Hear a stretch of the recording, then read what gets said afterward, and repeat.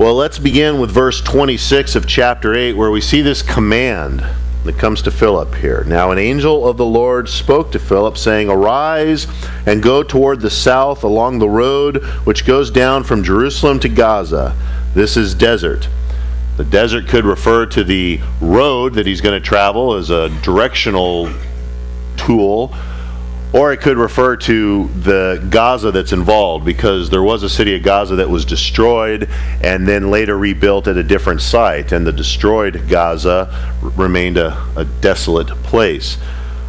But in addition to what is being said, it's important to note what's not being said by this messenger. He's told to go, go out to the desert. And that's it. Philip's a big part of, of this revival that's taking place in Samaria, and God's using him in a mighty, powerful way. And with no further explanation, the Lord says, Stop your work here, and I want you to go to the desert. And what do we read? We don't read Philip complaining. We don't read Philip questioning or arguing or saying, Lord, you must be confused as to what's going on here. We read that he goes. And so, verse 27 so he arose and went. And behold, a man of Ethiopia, a eunuch of great authority under Candace, the queen of the Ethiopians, who had charge of all her treasury and had come to Jerusalem to worship, was returning. And sitting in his chariot, he was reading Isaiah the prophet. Let's look at the character of this Ethiopian. He is most likely Jewish. Don't be thrown by the fact that he lives down in Africa. There were a lot of Jews that were still living in Africa. And if he wasn't Jewish, he was certainly one of the many uh, Gentile proselytes to Judaism. And so he had gone to Jerusalem to worship as the law required on various feast days. And we read that he's a eunuch. Now, a eunuch is, of course, a castrated male who was often eunuchs served in the royal courts. That was sort of a requirement for the job. And not just the guys that oversee the harem of the king or something, but just other official positions like we know the treasurer. And that's what this guy happens to be. It was so common for eunuchs to be found in these places of occupation that the word became broad and can describe someone who has that job but isn't literally a eunuch. But I don't think we need to assume that. I think God's word wants us to assume this guy is literally a eunuch because here's the thing under the law of Moses, in the book of Deuteronomy, we read that the eunuch was not allowed into the full assembly with God's people. So here he is, he wants to worship the true and living God, goes to Jerusalem to do it and yet is kept back to a certain degree. Probably no further than the court of the Gentiles is probably as far as this guy could go. And at the same time, we also read in God's word that there's coming a day Thus says the Lord, to the eunuchs who keep my Sabbaths and choose what pleases me and hold fast to my covenant, even to them I will give in my house and within my walls a place and a name, better than that of sons and daughters. I will give them an everlasting name that shall not be cut off. So that is the, the wonderful promise that'll take place during the Messianic age. And that, by the way, comes from the prophecy of Isaiah. Maybe one of the reasons the eunuch was reading the prophecy of Isaiah was to get that encouragement. And he would be reading a scroll. And, and by the way, don't think that the average person could walk around with scrolls of Isaiah. They would be very expensive and very rare. But this guy is not an average person. He's a, a man of great influence, a man of great wealth, and great authority. And so it's not unheard of to believe that that's what he's doing on this long journey back to his hometown. And as he's reading, he would have been reading out loud.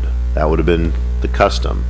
And so, knowing that, we get to verse 29 and look at the conversation now that begins to take place between this Ethiopian eunuch and Philip. Then the Spirit said to Philip, Go near and overtake this chariot. So Philip ran to him and heard him reading the prophet Isaiah and said, Do you understand what you are reading? And he said, How can I unless someone guides me? And he asked Philip to come up and sit with him. How can I understand unless someone guides me? I'm reading a very discouraging book this week that details a very comprehensive study concerning men and women in their 20s who grew up going to church. And the focus is not just any church, but evangelical Bible teaching churches. In fact, 3% of the study specifically are Calvary Chapel people. In addition to you Baptists, Lutherans, Evangelical Free, Assembly of God, various independent churches, and all. And the conclusion in looking at these in this age group